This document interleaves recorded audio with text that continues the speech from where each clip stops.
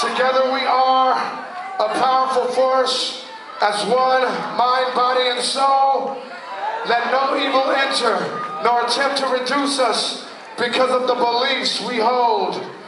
And with this love, combined with our strength, we ward off pain and stress. Technician I am,